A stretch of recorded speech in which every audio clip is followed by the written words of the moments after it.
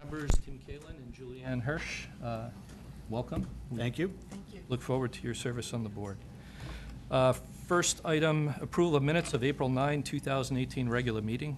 Mr. Chair, I move that we approve the minutes of the April 9th, 2018 regular meeting as submitted. Second?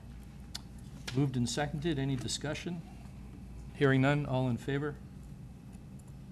And abstaining?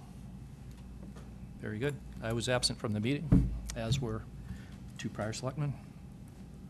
Um, Next, approval of minutes of April 23rd, 2018 special meeting. This is our meeting immediately preceding town meeting. Mr. Chair, I move we approve the April 23rd, 2018 special meeting minutes as approved, as submitted. Second? Moved and seconded, any discussion? Hearing none, all in favor? Abstentions? Thank you. And next, election of officers. We have Town Clerk Andy Dowd here to conduct the proceedings. Welcome, Andy.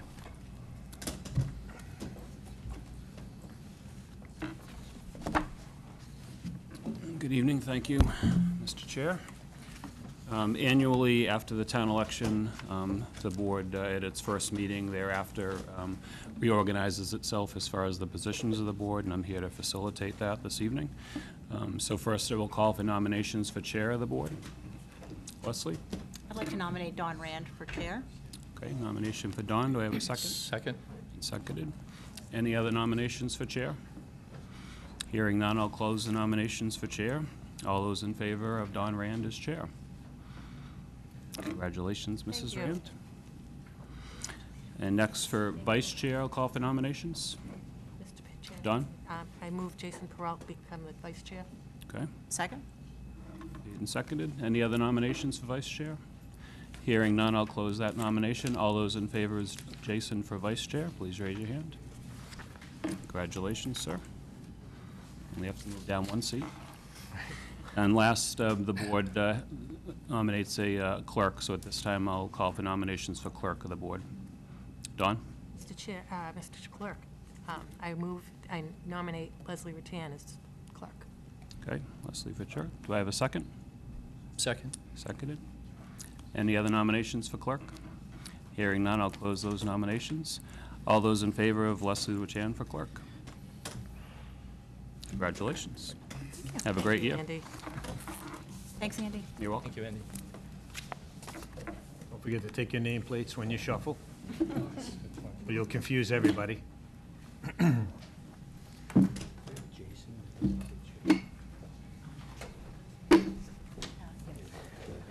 This doesn't suit me. Oops. Yeah, we'll do that. It's nice bag and all.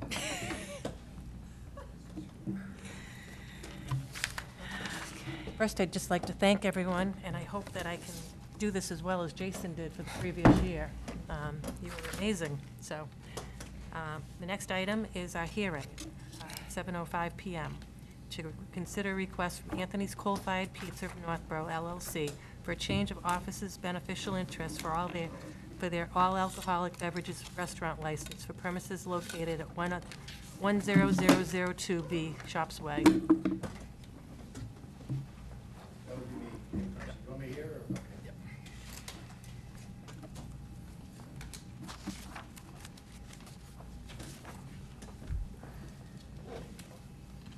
Good evening, everyone. My name Evening. Is Dave Krumsick. I'm an attorney. I represent Anthony's Coal Fired Pizza. It's a simple change of uh, officers. We actually have a couple of moving parts here. Uh, Wayne Jones and uh, Michelle Zavolta are the petitioners to become uh, uh, manager and president and secretary respectively, replacing Anthony Bruno and Charles E. Locke Jr. Also, uh, a little higher in the corporate chain is a proposed uh, petition by Michael Hislop replacing uh, Henrik Falkhoff if I'm pronouncing that correctly. Pretty straightforward stuff. These are uh, officers, they're not, uh, they don't have a beneficial interest in the in the license. Okay, and this has been reviewed by the police department, and there's no concerns? Um, Any questions from the board? Any discussion? Hearing no discussion, do I hear a motion? I move the board vote to approve the application as submitted by Anthony's Coal Fired Pizza of Northborough LLC for a change of officers' beneficial interest for their all alcoholic beverages restaurant license for premises located at 10002B Shops Way. Second. Motion's been made and seconded. Any other discussion? Hearing none. All those in favor? Motion carries. Thank you. He's Kinda actually. pausing the 'cause attorney we might have another oh, the one. next folks Oh, as well, so you're staying- Very efficient. Okay. Don't So, get too much exercise here. 7:05, a hearing. To consider a request from Wegmans, Massachusetts, Inc. for a change of officer beneficial interest for all all alcoholic restaurant license for premises located at 9102-9104 Shops Way. Okay, again, David Krumsick for, this time for Wegmans, uh, uh, Massachusetts, Inc., DBA Wegmans. Uh, Similarly, this petition involves another change of officer. Uh, James uh, J. Leo uh, is being replaced by Stephen uh, R. Van Arsdale. But again, simple uh, change of officer petition. And once again, this has already been approved, uh, reviewed by the police department. Any other concerns? Okay. Any questions? Hearing no questions, do I hear a motion? I move the board vote to approve the application as submitted by Wegmans, Massachusetts, Inc. for a change of officer beneficial interest for their all alcoholic beverages restaurant license for premises located at 9102-9104 Shops Way. Second? Motion's been made and seconded. Uh, Any discussion? All those in favor? Motion carries. Thank you. Thank you. Thank you very much. Um, It's not quite 7:10, so let's start reports. Juliana? We're starting with reports. Do you have anything to say? Um, No, I don't have any reports at this time. Okay. Thank you. Tim? Uh, I just wanted to take a minute to thank um, Jeff Amberson and Bill Pantazis for their service on the the Board of Selectmen over the last uh, number of years. Uh, They did a great job, and I'm excited to get the opportunity to, uh, to be part of the board and help Northborough grow. Okay, thank you. Leslie? Okay, I'd also like to congratulate again Julianne and- and Tim um, in your campaigns and, and winning a seat on the board. I think you'll enjoy it very much. Lot of interesting things come before us, so, so, welcome.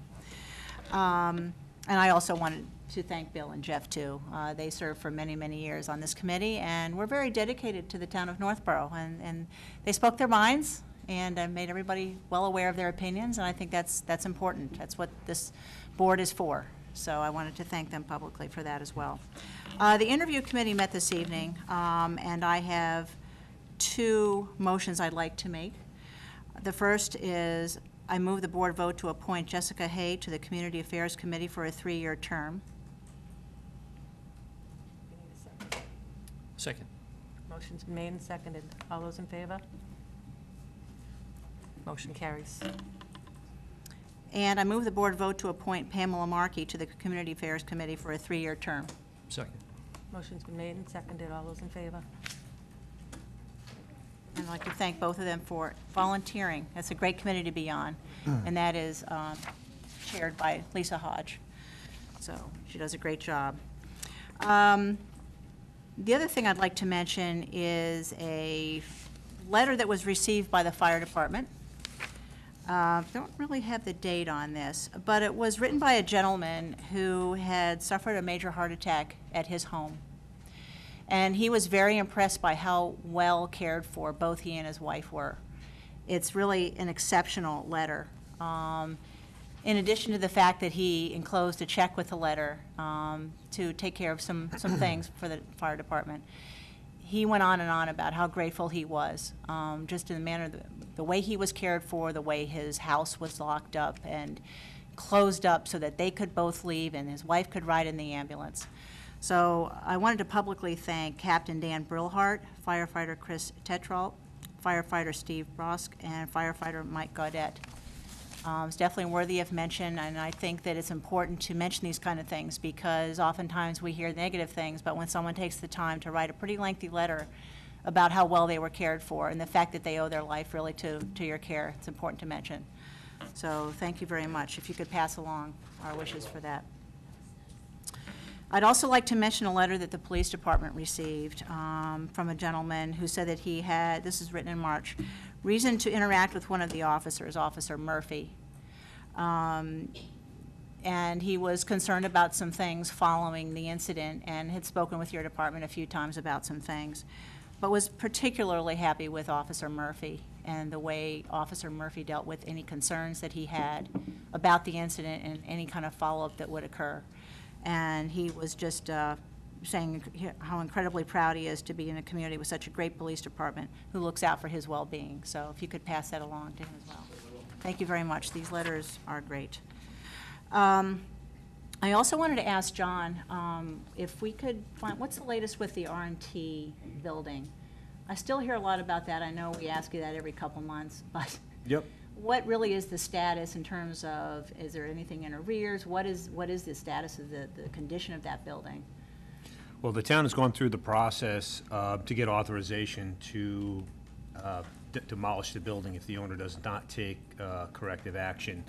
Um, Something like that, what we would do is uh, wait until uh, we get to the end of the fiscal year so that we can determine uh, what we have for funds um, and decide whether or not that's an action that we want to take. So we pursued the administrative end of it to get the, the, uh, uh, all the due process out of the way, working with town counsel, so that uh, by the end of the, uh, towards the end of the fiscal year, um, if we, if we so choose, uh, and the owner does not take corrective action, the town would have the option to dem- demolish the building. Uh, When we take action like that, it's at our, it's on our dime. We do then put a lien on the property. Um, However, uh, the town does need to come up with those funds. As you know, every year, as part of the budget, um, we have a $175,000, uh, emer- basically a uh, appropriations committee reserve account. It's essentially a a reserve account uh, for unforeseen issues or or situations. So normally what we want to do is we want to get through the winter and see where we are in terms of our snow and ice budget. Uh, Imagine we're getting ready to close that out at this point, uh, and then we'll have a sense what we have uh, left to see if we have any other issues or demands on our resources, you know, at the end of the fiscal year. Okay. So is this something that you could keep us apprised of? or Absolutely. Would you like me to keep bringing it up? No, that, it's- it's fine, Uh, e- either way, you know, if you inquire. I mean, basically, what we need to do is, uh, as we get, as we, as I said, as we, we're- we're now in the area where we're getting close to closing out the fiscal year, which ends July, uh, June thirtieth. Um, We then still need to close the books and actually close out to see where we are. Year-end transfers, if necessary, uh, would take place uh, at your June meeting. At this point, uh, the financial team isn't anticipating uh, any uh, year-end transfers that would require the Board of Selectmen's authority. Um, Again, the $175,000 uh, appropriations committee reserve account, those transfers can be made solely under their authority. Uh, So right now, we're anticipating any shortfalls, snow and ice shortfalls, basically, would require, um, uh, would be handled through that reserve account at this point. So, uh, but again, we're waiting, we're, as we start to close down the books, we'll have a better sense of of where we are. Uh, What we do is, we would be able to uh, move forward, and we can encumber the funds necessary if we're going to do something with that particular structure. Okay. All right? Thank you very much. You're welcome. And my final comment is um, just a reminder to everyone not to forget about the food pantry during the summer months. Um, As a quote, one of my favorite quotes is, "Hunger knows no season." So I think that in the summertime, people tend to forget, they get busy, it's that they don't, it's not that they don't mean well, but I think that it's important for us to remember. The good, a good website is nfpantry.org, and it will give you a list of some things in particular that are, that are needed at this time. So if we ask you to remember that, that would be great. So, thank you very much, that ends my report. Thank you. Jason? Please pardon my use of my phone to keep track of all my notes. I have a few things to say tonight. Uh, One is uh, Happy Mother's Day to all the mothers out there. Um, Hope you had a very enjoyable uh, day yesterday. There were a lot of uh, very nice photos on social media, and one in particular, Mrs. Pat Griffin racing around a track in a pink race car. So I don't think I'll ever see a photo on Mother's Day that will top that, so. Uh, I'd also like to uh, um, make mention that the uh, junior prom at Algonquin Regional High School is being held this Saturday night, uh, May uh, 19th. Following the prom, we normally hold a post-prom party at New England Sports Center, which requires some number of volunteers to serve as chaperones uh, overnight, 11:30 PM to 5 AM Sunday morning. Um, it's a very excellent program put on by volunteers, uh, a lot of activities for the kids. Um, They get to, uh, they have a, typically a mechanical bull, an obstacle course, a hypnotist, which isn't too R-rated, um, and also, they open up one of the ice rinks so that uh, the kids have the opportunity to put on some skates and and get out there. Uh, I'll be doing it after a two-year absence from it, uh, uh, again this Saturday, but I understand they are short on volunteers, particularly for the overnight component of that. So if you know anybody or you're willing to volunteer yourself, we certainly would appreciate the extra help. It's uh, just a kind of event that tries to make it a a very safe evening for the kids and a very uh, uh, peace of mind evening for their parents. Um, Typically, the parents of the juniors are not allowed to volunteer. I'm not sure if we're relaxing it this year because of the need for volunteers, but um, we certainly uh, hope we'll have enough people to carry out that program.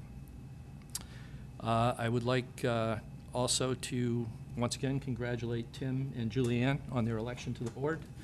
Also, uh, to congratulate and thank um, Jeff Amberson and uh, Bill Pantazis for their long years of service. They, they made many contributions uh, to the town, uh, to this board, um, to other boards they served on throughout that period. Um, We just really appreciate all of their work and uh, all of their uh, uh, contributions. Um, Just very much appreciated. I'd like to thank Town Moderator Fred George, Town Clerk Andy Dowd, um, all the town meeting election workers and the audiovisual support we had at town meeting. Once again, it's quite a large effort. We appreciate all the work that those people put in uh, to make it happen. Uh, Thank John uh, Town Administrator, and his financial team, Kim Foster, um, June Hubbard Ward, and Jason Little, Town Accountant, uh, for all the work they put in preceding it to get the budget in order, to put out the fires that invariably occur um, uh, very shortly before town meeting. And also to, uh, thanks to Superintendent Christine Johnson, the school staff, and the school committees for their uh, portion of that, which is the school budget. Um, Very much appreciative. I think the evening went pretty well. Uh, It was a very late evening. It's always a toss-up whether to try to complete all the business in a single evening or have it carried to a second night, not being sure if you're going to get a quorum on the second night in order to conduct that business. So uh, we did have a number of uh, citizens who stayed through, persevered, and got it done. We really appreciate uh, the turnout. We really appreciate uh, the fact that they were willing to put in that time through a very late night uh, to help us get through all the warrant articles and get the business completed. And I think that concludes my report. Thank you. Congratulations, I'm sorry, one more thing. Congratulations, Dawn, uh, uh, as our next chair, once again. Um, Leslie, thank you for your service also. Oh, thank I want to thank everybody for my, for all the assistance and guidance they provided to me for my first uh, campaign as chairman of the Board of Selectmen. Uh, Anything I did right is probably due to the advice and guidance of my fellow board members. Anything that went wrong, I'll take full responsibility myself, so appreciate it. You did a great job. That concludes my report. So, and thanks again for all, all you did. Um, Ditto on the congratulations and the thanks to the incoming selectmen and the outgoing selectmen. Um, I had the fun time of doing, uh, working with the Fire Station Building Committee and doing road trips. You act like it's not a good time. It was a good time. My, my husband's gotten to the point he wonders what else I'm going to tell him about fire stations. So we went to five um, relatively new fire stations to view them and see what went right and what went wrong in their um, building, so it will help us with the process. And we have another bill out, building committee meeting next Wednesday, correct, John? Correct. 10 o'clock in the morning. So, um, I'd like to thank the DPW um, for all the work they've already done around the center of town, um, and the cemeteries and the monuments, everything's starting to look so good. And um, we were a little ahead of schedule before Memorial Day, but thank everybody for their hard work, because it really does look great. And speaking of Memorial Day, the parade is on Memorial Day. I won't be able to march this year, but the starting time is what, John? Uh, The step-off is at 12 noon at the Civil War Monument Okay. downtown. So, and the board has been, all been invited, um, so I think everyone knows that, so. um, And again, a thank you on the elections to, um, as far as the way the elections and town meeting were handled um, by Andy Dowd and his staff, and then town meeting, John and his staff. Um, And just like to remind the board and the people out there that our next meeting um, is June 11th. We go into our summer schedule, so we'll only be meeting once a month, so next time this board will meet will be June 11th. And that concludes my report. John? Uh, Two brief items. One, I just want to give the board an update with regard to state aid. Uh, It's always a unique process trying to determine your budget before you know your revenues. Uh, You know, uh, Typically, state aid for us uh, is about ten percent of, um, of our revenues, and we don't know what our state aid number, our final state aid number is, uh, usually until June or July. And as you know, town meeting is uh, the fourth Monday in April. That's when we actually set our budget. Um, But as the process unfolds, uh, we typically will use the governor's budget number, which comes out uh, at the end of January. Uh, Since then, we got the House budget, and uh, last week, the Senate released their numbers. Usually, we do a little bit better with each iteration, from the governor to the House to the Senate, assuming the economy is not in free fall. Um, So uh, according to the numbers released by the Senate, uh, the good news is the, um, the state aid from the Senate numbers would be up about forty-eight thousand. The bad news is their assessments are also up by about thirteen thousand, which means net, it's a little over thirty-four thousand in additional state aid that we would be budgeting, uh, uh, that we would be receiving. Um, For those that don't know, uh, in terms of state aid, the number that we go to town meeting with um, is what we, and it's usually a conservative number because we don't know anything. We're using the governor's number. Um, Any state aid that we receive above that figure, when it ultimately comes in, uh, come fall, when we set the tax rate, that has to be applied towards reducing the tax impact. So despite the fact that we are conservative, you know, some towns will try to guess and, and try to budget on a number that's a little bit higher. We tend to be more conservative, knowing that if we get a little bit more state aid, come time to set the tax rate in November, the only place that can go is to reduce the tax. Uh, So it's positive news, but the reality is on a sixty-plus million dollar budget, thirty-four thousand isn't gonna really have any, any significant impact either way. The good news is that the number is moving, and at least it's moving in a positive direction. We've been through significant uh, years where that number actually went the opposite way by six figures, and that would require us to take some action. So no action required, it's positive news. Uh, The only other thing I'd share with you this evening is uh, tomorrow, uh, I will be having our bond rating uh, review call with Moody's Investor Service. Um, The town is uh, planning to issue uh, $5.2 million in bonds. Uh, There's about 2.7 in bond anticipation notes and about 2.5 million in uh, permanent debt. So the way the schedule would work is we'd have our call tomorrow. Uh, They'll then take that information and get back to us in terms of our rating. Right now, we're a double A1 community. It's the highest rating the town's ever had. Our goal is to maintain that rating. Um, The release uh, will be May 24th. The sale of bonds will happen on May 31st. And then what'll happen is your next meeting, which is June 11th, uh, the finance director will come before you with the results of the bonds and the bonds themselves to be executed by the board. So that's something you should anticipate for your next meeting, and usually it requires um, about 20 minutes of signing. So come prepared with a good, with a good pen. Um, We anticipate, uh, again, we anticipate that we should have um, a good, a good result. We tend to, um, we tend to be very desirable when we enter into the bond market and, uh, and get good results. So we're, we're hoping we'll, we'll be able to come back with a, a low interest rate based on our, on our uh, rating, and, uh, and we can move forward from there. Thank you, John. Okay. Okay, back to our 710 Kathy Joubert, Town Planner. Acceptance of the donation of two parcels of open space land known as Zero Howard Street, Assessors Map 4, Parcel 3, 4.02 acres, and Map 4, Parcel 4, 2.51 acres. Kathy? Good evening, everybody.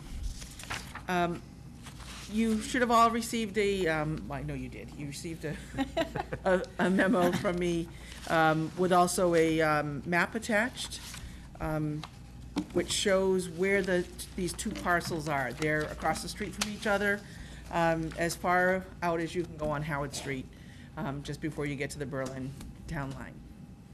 So one of the parcels, um, actually, let me back up a second. The, the Conservation Commission by state law, um, has the ability to accept, um, donations of, of money and also donations of land. and um, without having to go to town meeting. But part of the process is, is that it also needs to obviously come to the Board of Selectmen.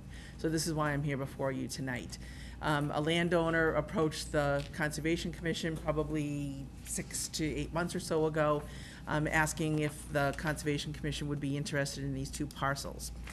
They're very small parcels as far as open space goes. Um, The, the parcel that's on the, the westerly side, which actually on your map is sort of shown in a navy blue, that's the four, um, approximately four acre parcel. That directly abuts Mount Pisgah, town-owned conservation property, and we already have a trail on that property. Uh, years ago, the Trails Committee approached the landowner, um, and asked if we could put a, a trail up there. It's a bit of a challenge. It's more of a, of a goat trail than a, than a, than a quick, easy, um, hike, but, um, but it is one way to get up to Mount Pisgah, um, if you wanted to, as opposed to going up on Smith Road.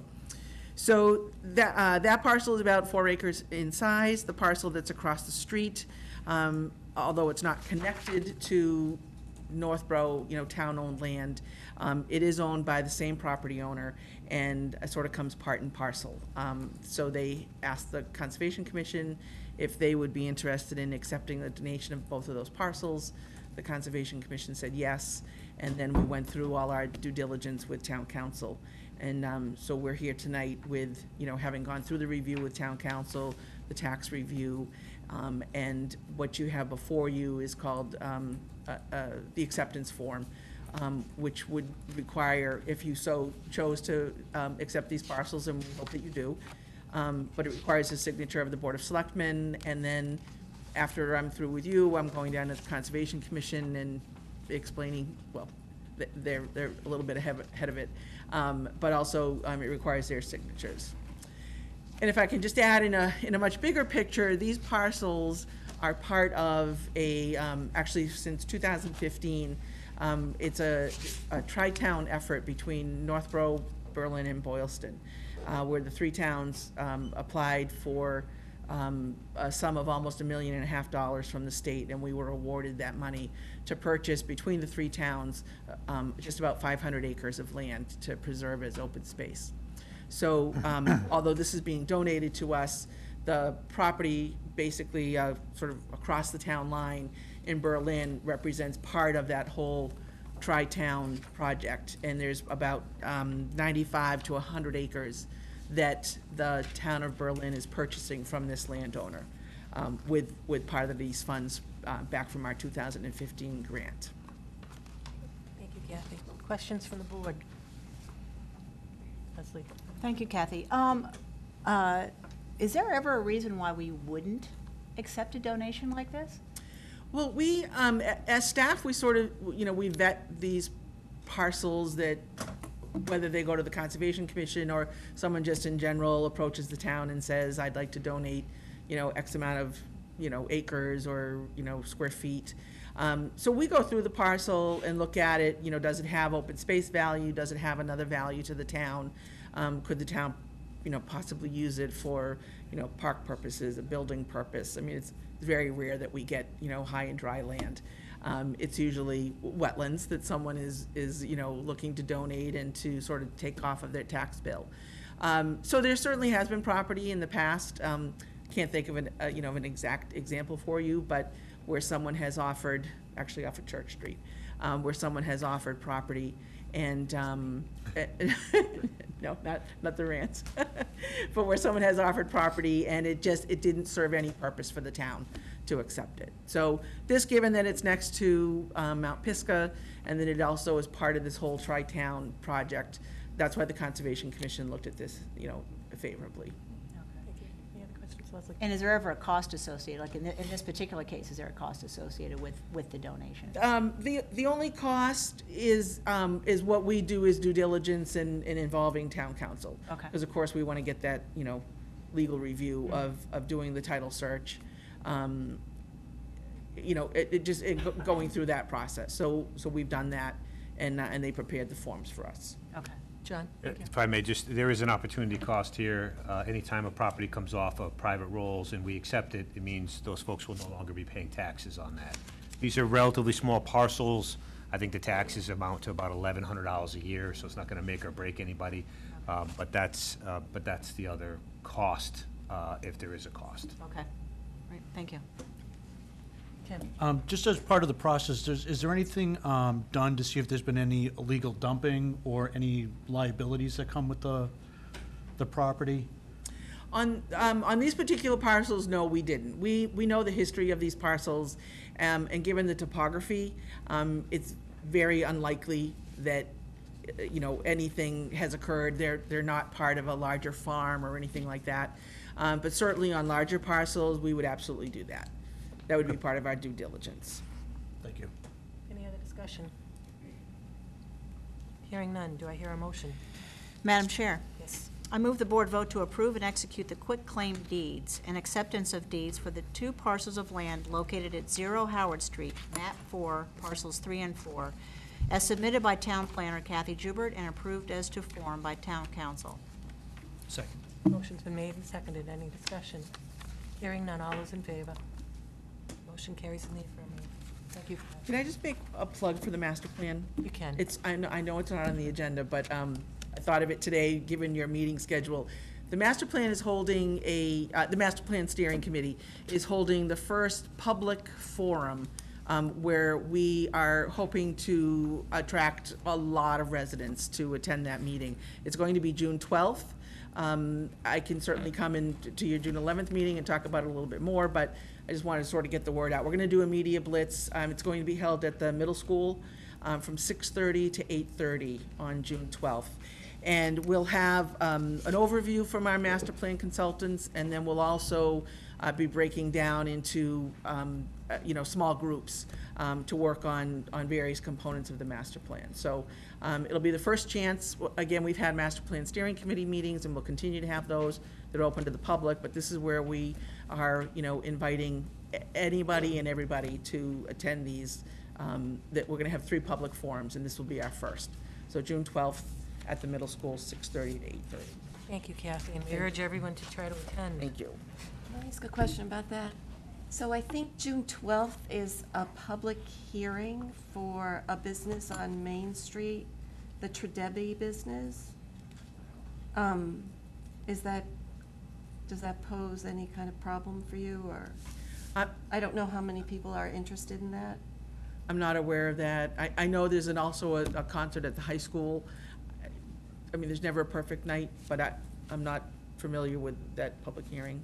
Okay. It- It's often that we have multiple hearings and meetings that are occurring at any given time.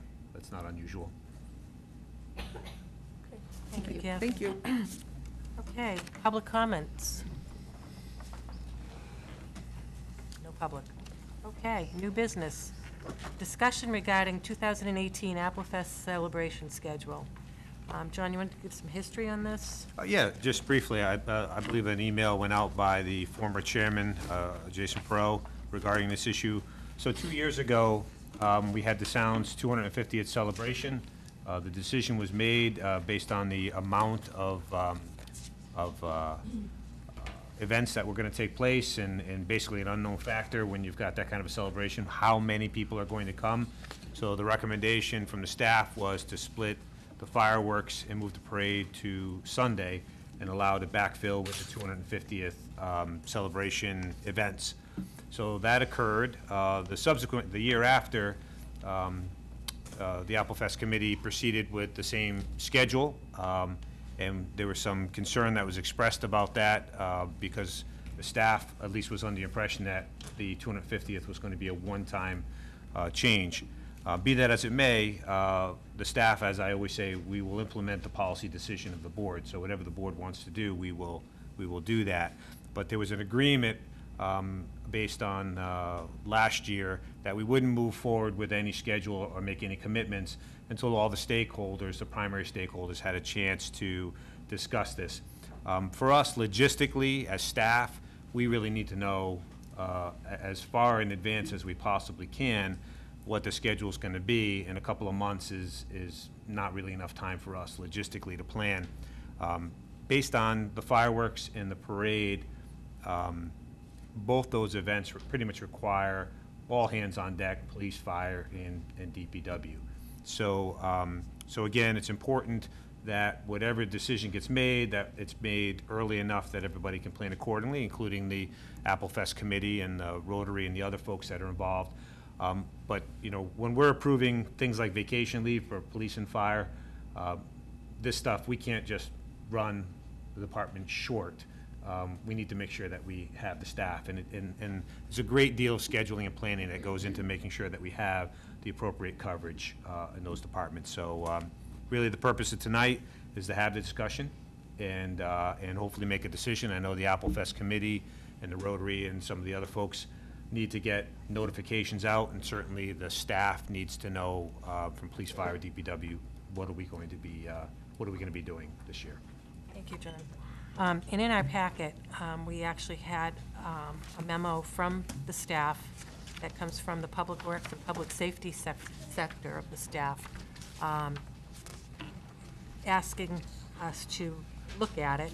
Um, We also had a letter that was delivered from St. Rose of Lima Church, um, asking us to look at it. Um, And the Rotary also would ask us to look at it. And the Interfaith Clergy Association had approached me and called me to say that they have a problem with the Sunday parade. um, St. Rose's in particular, um, parking at the church and access and getting people into the church and out of the church at the same time as the parade's starting. Um, So, that being said, um, I guess, Michelle, you're, you would like to speak? Um, we thought it'd be good to have the Rotary Club speak first, so we could hear what they had to say. Okay. Because we, have- we're not, we've, we've never heard about those letters, we don't know exactly what anyone said in those letters, it's the first we've heard of it. Doyle's here representing the Rotary Club. Would you like to speak? Um, I don't know, if we, we did send you, you know, a letter that you have. They did. Um, I think our piece of it is just when, um, is when the street fair is gonna be. I mean, it Doesn't, it's not gonna hinge on the parade. We have said that we would like to have the street fair on Saturday, and we listed the reasons why. But I don't think ours is the, is not the parade situation. I mean, we'd be happy to, you know, read the letter that we sent you, if that's, Like, That would probably be good. Okay. Hmm, Rotary Club of Northborough voted last fall that they'd like to have the Apple Fest Street Fair return to Saturday. They additionally expressed the wish that the parade also be returned to Saturday. We have members who are not able to participate on Sunday for a variety of reasons. Since the street fair entails a great deal of work on the day of the event, it's necessary to have almost full club participation. Many of our vendors who traditionally took part in the street fair because it was on Saturday found that the move to Sunday created a hardship, or they decided to, to drop out entirely. We also saw a drop of attendance with the move to Sunday, with light crowds in the morning due to church attendance, and much lighter than expected crowds after the parade due, last two years, to the Patriots game. We also are in competition with Start in the Street in Worcester, and uh, we do know they have definitely set their date as that Sunday. It's going to be held on Sunday, September 16th this year. Um, Our good craft vendors uh, have told us they'd rather be at that event. There are over 300 vendors and many thousands of attendees, and the cost to be in either of the street fairs is, is almost comparable, so they'd rather be in Worcester than be with us. Um, They, they, um, they would come, let's see, they would come on Saturday if that was when we had it. And we also mentioned too that one, and I didn't put it in the letter, that a Saturday street fair does allow for a rain date on Sunday.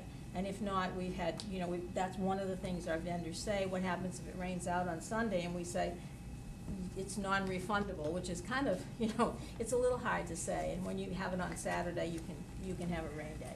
So those were the reasons why we would like to see the street fair definitely on Saturday. And it would nice, be nice to have it with the parade. We'd like to have the parade on Saturday too, but we know that's not in our purview to make a decision on that. Thank you. Um, Would you like to hear from the staff too, before you, Yeah, and we reached out to the clergy, uh, St. Rose's and Interfaith, and heard nothing from them whatsoever, really, nothing at all. do you want to hear that letter too?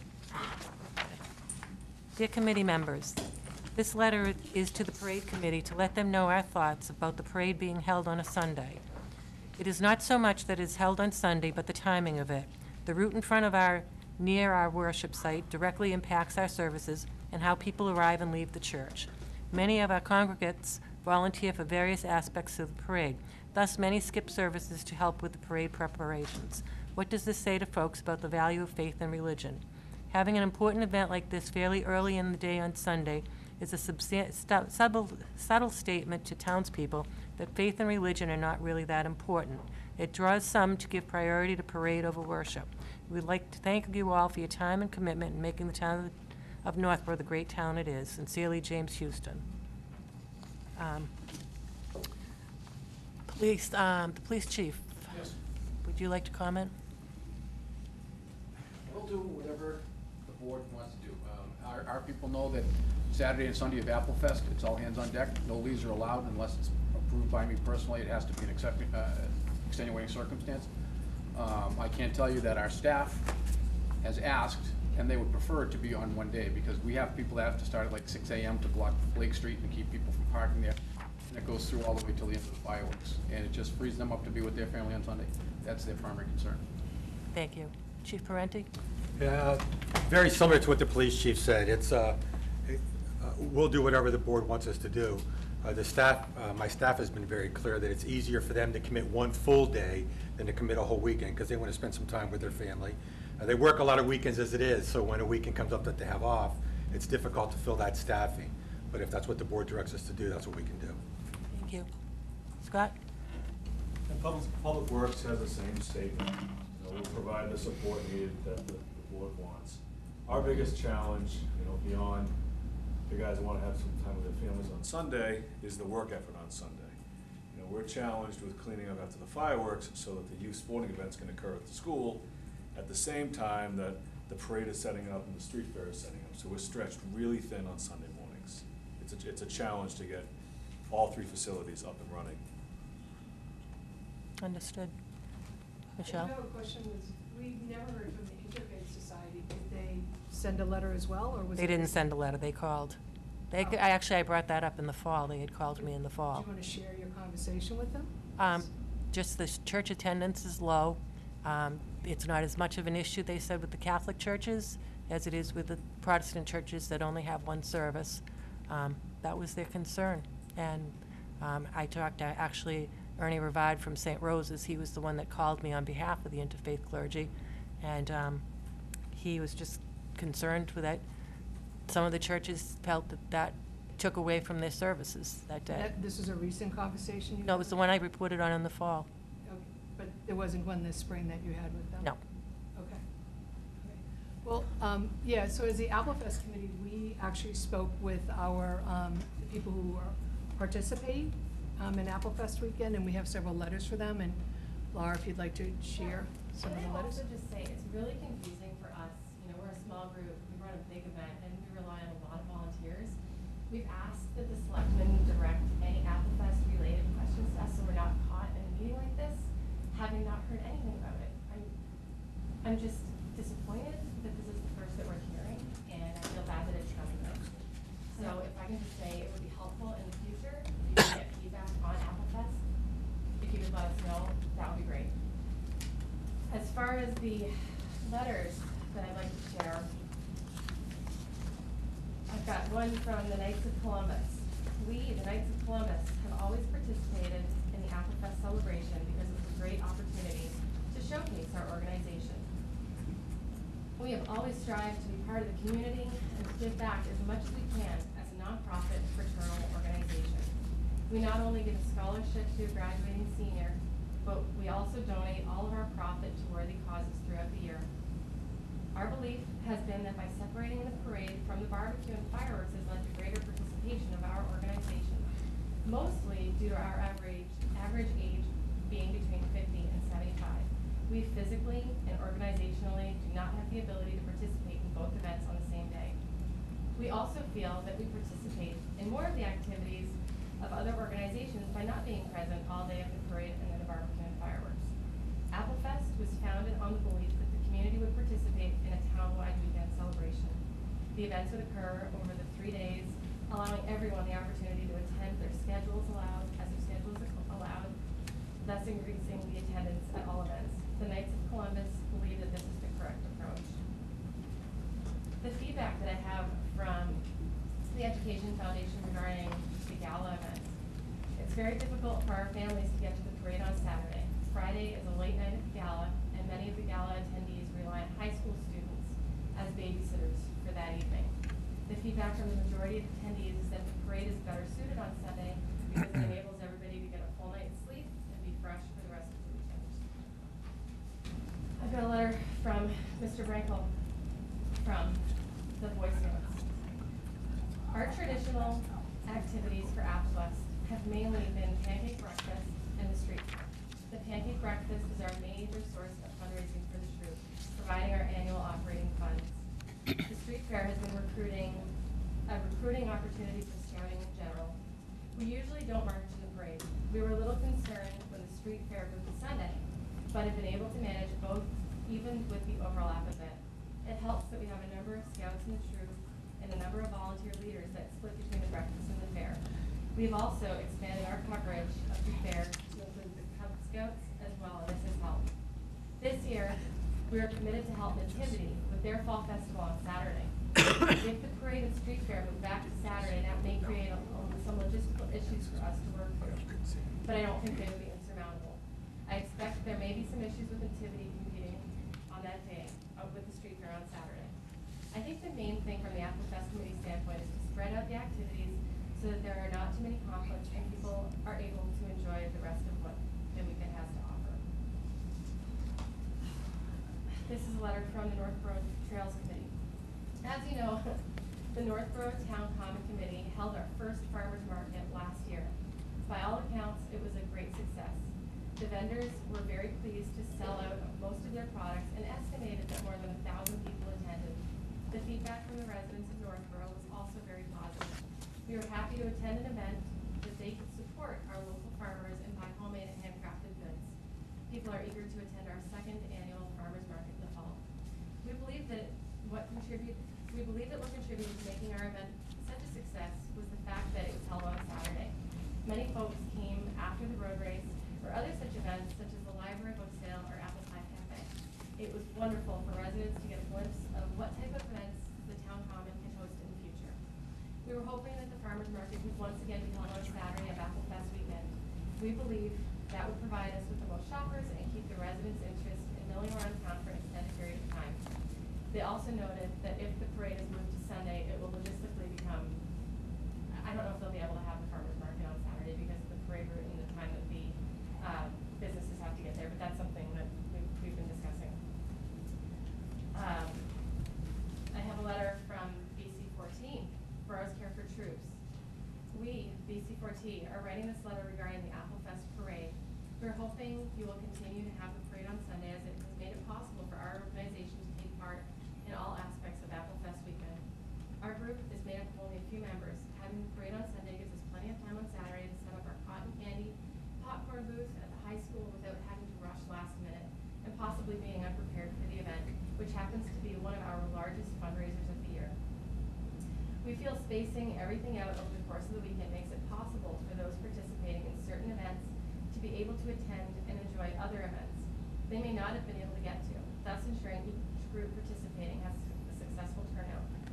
Thank you for taking the time to read this and taking our consideration into.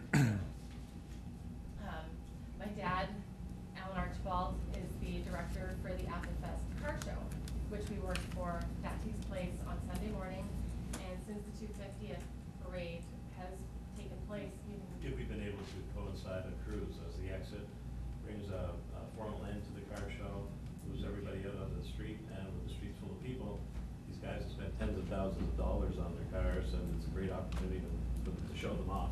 Since they go down, and once the last car goes by, we do a high ball to the Apple Fest committee, the parade falls right out behind it.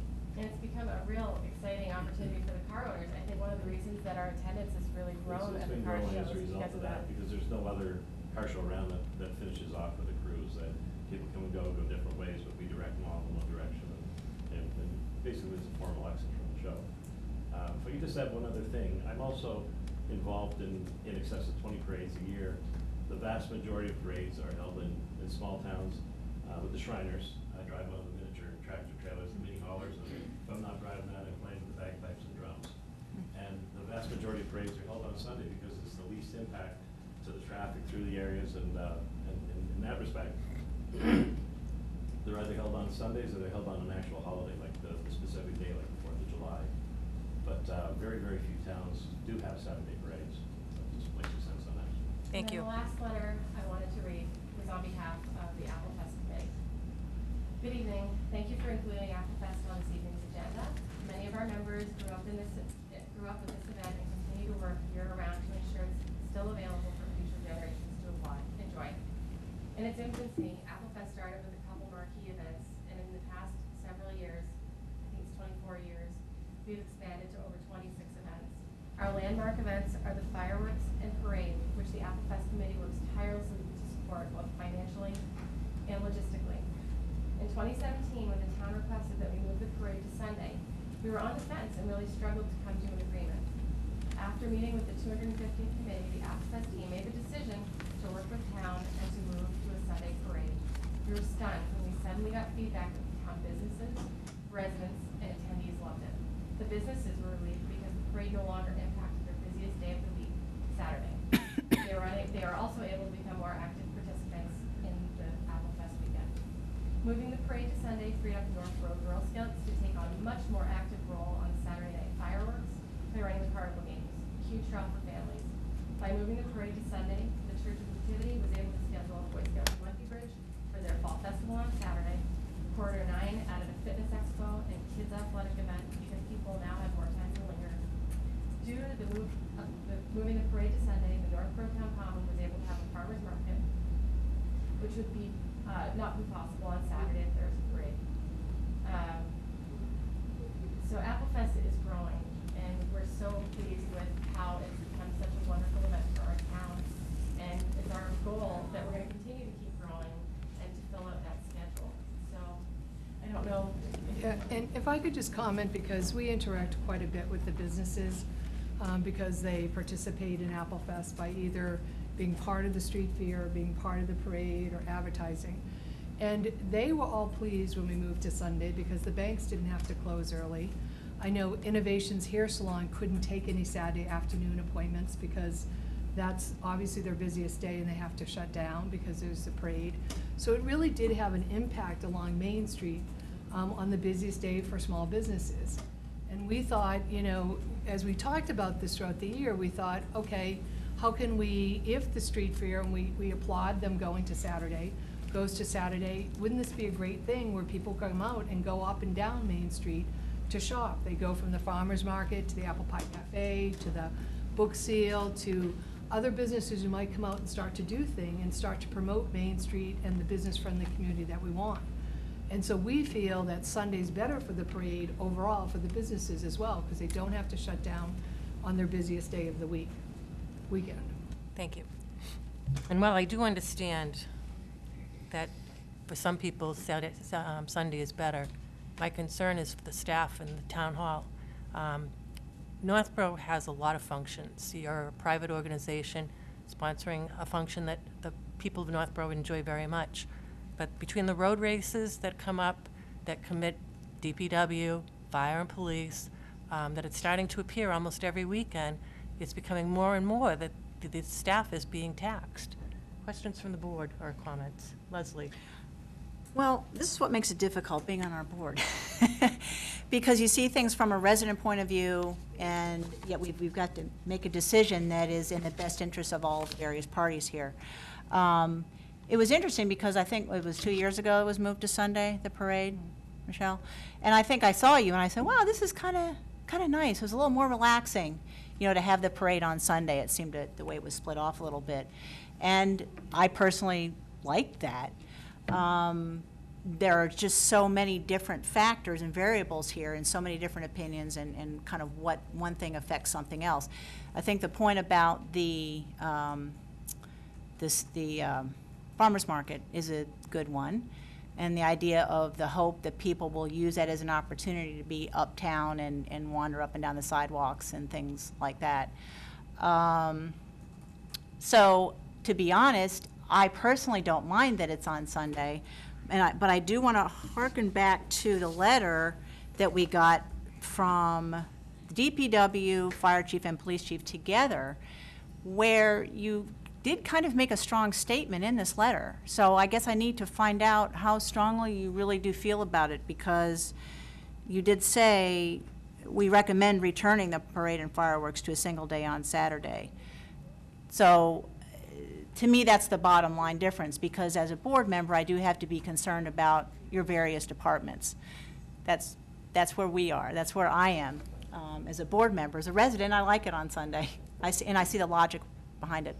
So, so the bottom line for me is how strongly you do feel, because you've actually made that statement three, two or three times in this note. So, is it a taxing thing for all the departments to be full, as you said, full complement? I, I wouldn't make a statement if I didn't stand behind it. Uh, Okay. It is taxing, it's difficult, uh, it's a hard, and hard enough time of year to fill our overtime because there's guys going all, all over the place. And it's, it, it can be difficult to fill all the shifts. If I have to stop people from taking vacation, if I have to force them in, which I'm allowed to in the contract, I can do that.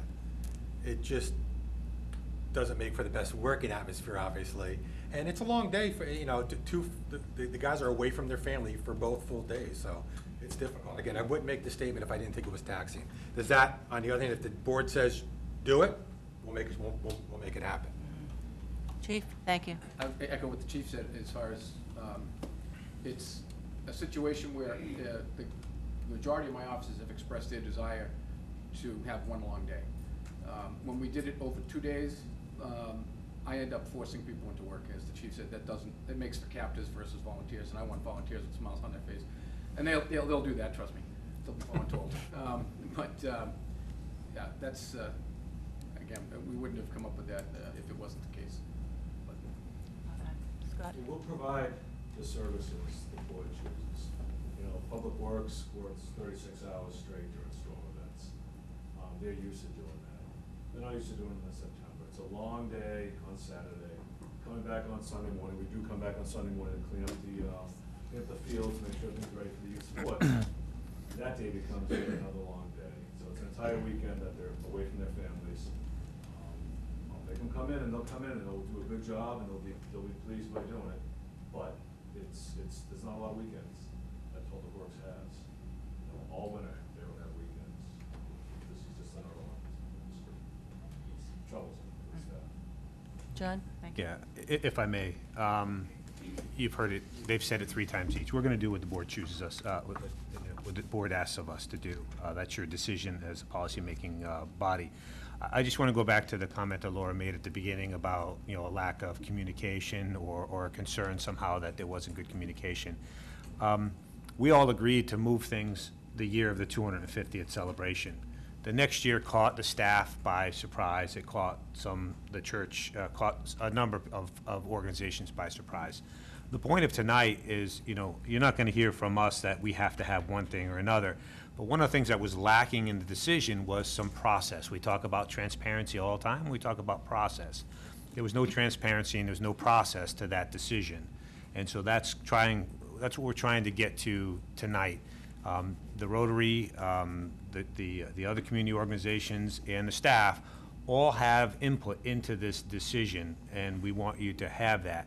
The board asked, uh, and this is nothing new, uh, we communicated this uh, at our meetings, I'm not, I don't believe you were at uh, the meetings, um, the planning meetings, um, Laura, uh, we were working with Michelle, uh, and we, we expressed these concerns at that point in time.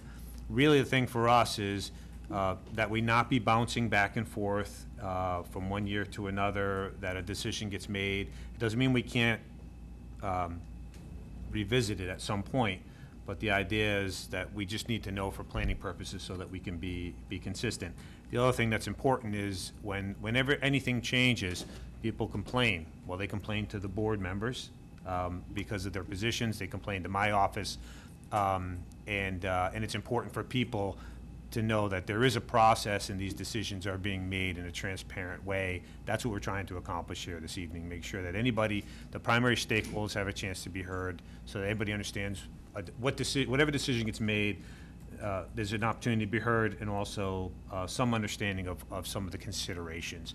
Staff is a consideration. It isn't the end-all and the be-all, but it is a consideration. And you know where they stand, um, and you know that they're going to implement whatever the decision of the board is, and that's our job. We do, a we do a lot of things through difficult situations. Well, this isn't going to kill anybody, um, and we'll, we'll implement the decision of the board. But it's important that you have that information as well as the wishes of the Applefest Committee and the Rotary and the churches and everybody. That's the point of having this, uh, this discussion. And that was just, so, just in all fairness, that was communicated very clearly back in the fall when we, when it was decided the second year to split things. Uh, We had many conversations that before anything happens next year, that this kind of a meeting needs to take place. So that was communicated. That, that shouldn't be any surprise to anybody. I, I just want to be, I just want to be clear about that. Yeah, And I want to And react. John, if I could just comment, um, we started emailing the Board of Selectmen in March of this year. So it's May now, we, we emailed. And the year after the two hundred fiftieth, we sat at Pat's house, and everybody got a letter. I don't know if you guys got it, but we all sent them out back in February. And everybody, I'm sorry that you felt like you weren't told, but everybody was sent out letters, and everybody was notified. So it came as a surprise to us that you guys weren't told because we mailed them out and all the other twenty-eight or twenty-six people who were participating knew about it. So we do send you, as the Board of Selectmen, letters out at the beginning of the year, and we sent it out that year. We're At Pat's house, we addressed them all and sent it. So that shouldn't have come as a surprise last year that we had it. And this year, we started emailing the administrator. We got emails back in March. And then um, Jason said, Michelle, we need to start talking about this October meeting, and Jason said, we should have met in October, we didn't for some reason, and so that's why we're here tonight. Jason. Um, Yes, all of that is completely true, and um, as the chairman for this past year, I'm going to take a lot of the responsibility for the conversation not having taken place earlier. Um, I would say that I was preoccupied with some other issues before us. I did see the communications. I knew from past, uh, from the prior year when uh, the parade was held on, uh, on Sunday again, the year following the 250th. I was surprised to see that myself. And uh, we had in mind that we wanted to have a meeting of everyone involved in order to decide what the priorities were and wha- how the decision would get made. So I agree there's been a lack of communication, in part, coming back from the Board of Selectmen. And for this past year's cycle, I take responsibility for that because that's something that I should have uh, taken more initiative with, been more proactive with to do that. Um, So, that said, um, Can I just ask one other question Can you that let we him get finish? Michelle, constantly? Can you let him finish, please? Um, I think my position on this, personally, is that um, the change was made for a particular reason for the year of the 250th anniversary. Um, I don't think it was understood or expected at that time that that was a permanent change. And that change does have an adverse, I don't know if you'd call it an adverse impact, but it does have an unexpected impact or an undesirable impact for some of the parties involved. Um, It's to the benefit of some, it's to the detriment of others, and so it's a complex thing, and there's no one right answer um, for this. So, uh, to that end, I think it is important that we do engage in some communication much earlier in the process, to plan it out, to understand all the parties' interests. Um, In the end, we're not going to have a solution that's going to satisfy everybody. That's just the circumstance, so. Let me hear from the board first, if there's anyone else from the board that would like to say something. Tim? Uh, I just have one, the- the, the, if the issue is, is staffing for the event, is there, is there any way for, for the Applefest committee to outsource any of the staffing so that the, I know that the fire and the police can't be outsourced, but any of the DPW work or the cleanup, can any of that be outsourced to, to reduce some of the burden on, on town staff? I'd ask Scott to respond to that. Yeah, the, uh, farmer's market took care of their own trash last year due to the costs associated with it, and that was a big help, one less thing we had to do. You know, if they wanted to outsource trash pickup, I, I don't know whether they'd be able to afford that, or not. I don't know what your, what your finances are. They seem like they're pretty stretched pretty thin. When I So if they had the, if they had the resources, they could do it. They have the resources, yes. Okay, thank you. But the fireworks, you, were- No, we will, we'll manage, the- we'll clean up the school fireworks. The street fair is a street fair, the, the farmer's market's their farmer's market, there's a standalone event. We'll still manage all the traffic associated with the parade. Um, That's our responsibility, as is the school. so if the parade is on a Su- Sunday, you're still We're still working? there, Yeah, we're still cleaning the school up. John? So if we were to outsource- Just- Excuse me. I understand, I would just wanted to comment, T- Tim, so most of the, the stuff that DPW is doing, it's, it's a lot of, you know, heavy equipment moving, light towers, we're doing, most of the things that they do and the services they provide aren't something that would be easily, easily outsourced. Yeah, Uh, but if there was pieces of it that could, Yeah, and I thi- I think the Applefest committee does a great job, actually, uh, between volunteers and taking care of the things that they can, they can take care of. I don't, there's, there may be an opportunity to- for a couple of things, but on the larger scale, we're still gonna require all of our, our- all of our staff. so could we outsource some of the services for the weekend to solve the staffing problem for DPW? Or is that not something? Yeah, well, the reality is, the, the issue is the fireworks and the parade. Those are such big events, we need all hands on deck for those. So, um, most of your other events, you know, like the car show and, and, uh, a Taste of Northborough, those types of things, they don't require really any, any staff, uh, attendance. It's, it's the parade and the fireworks that are, that are command, uh, performance or, or attendance from all the staff, because it's just, they're public safety issues, and you can't outsource the public safety, and DPW is actually a component of that public safety, traffic control, crowd control, things of that nature. The only, the only components that would be eligible would be trash removal, at the different events, the, the, um, farmer's market and street fair.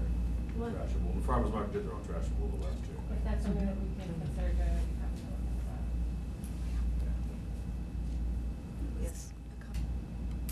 David Gillespie, one seventeen Howard Street. As far as the police and the fire, could we pick up some people from other towns? I mean, a Westborough police guy can stand in the street just like a Northborough police guy. I mean, there are, I'm sure there are other circumstances where towns cooperate. And, you know, maybe if we're short two or three guys, we could go to Westborough, we could go to Southborough, and we could pick up a couple of bodies that way. Chief? I was just notified by the Westborough Police Chief that their officers can no longer work over here on our details because of their liability issues. We can call them on mutual aid for emergencies, but this is a scheduled event, not an emergency.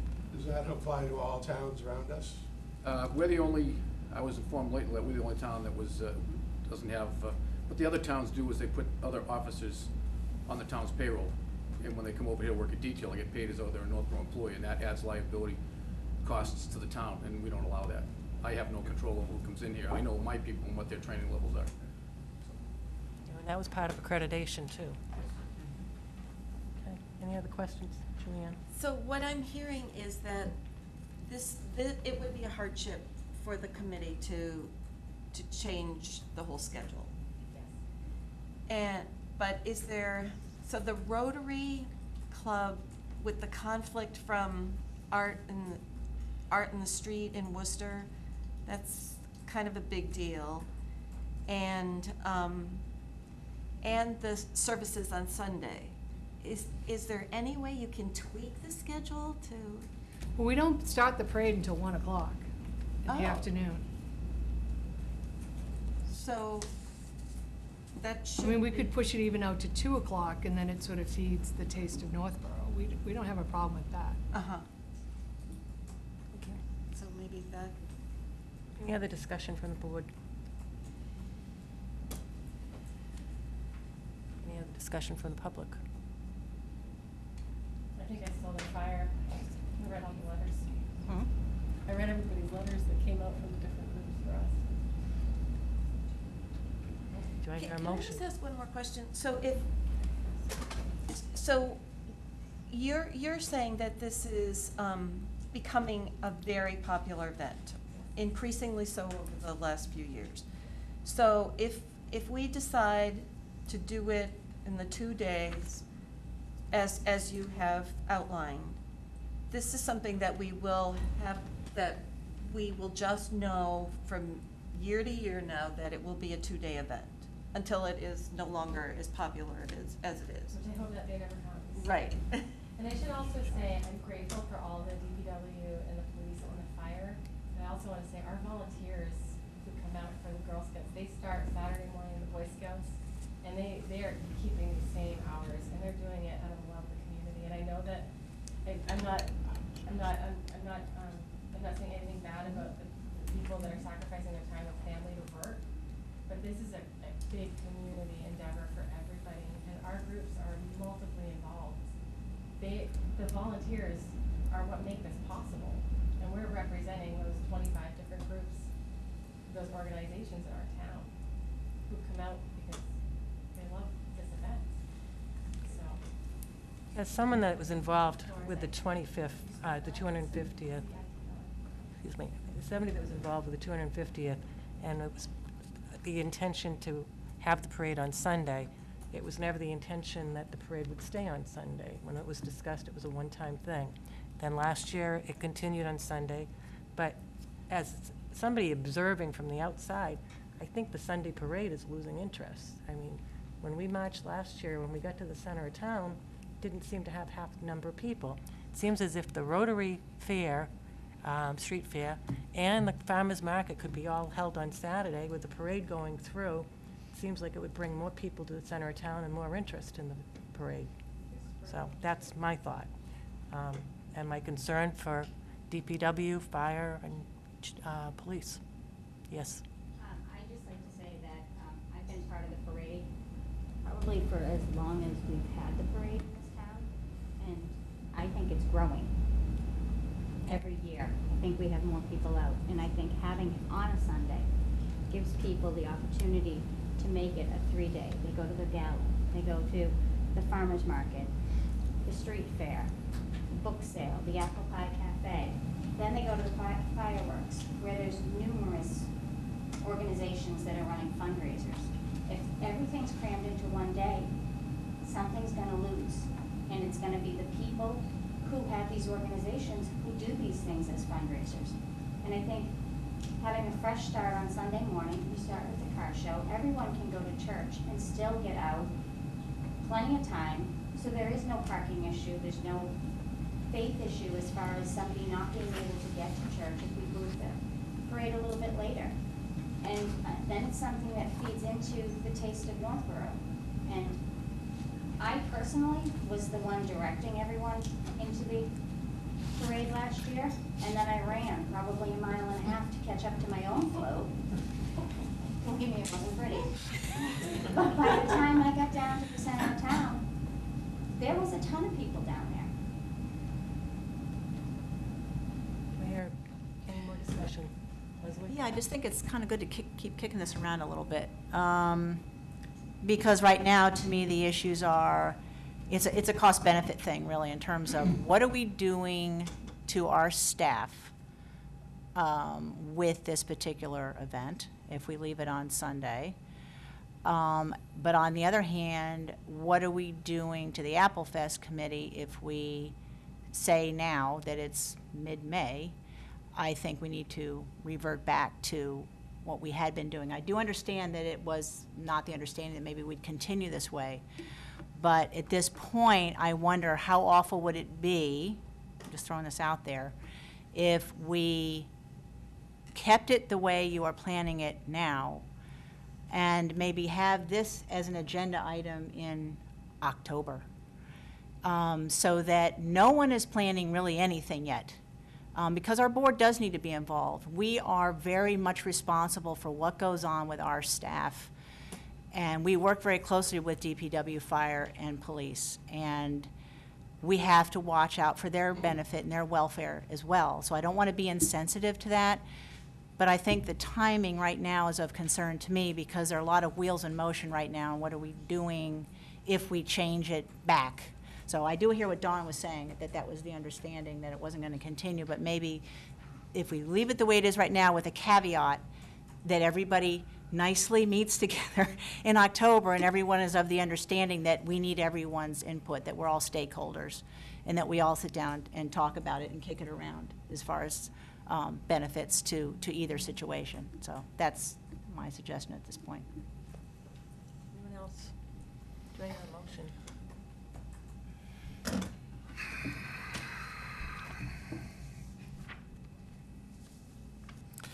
I guess I have to flip a coin. If I- Can I just say something? John. The staff will make it work. Whatever you want to do, the staff will make it work.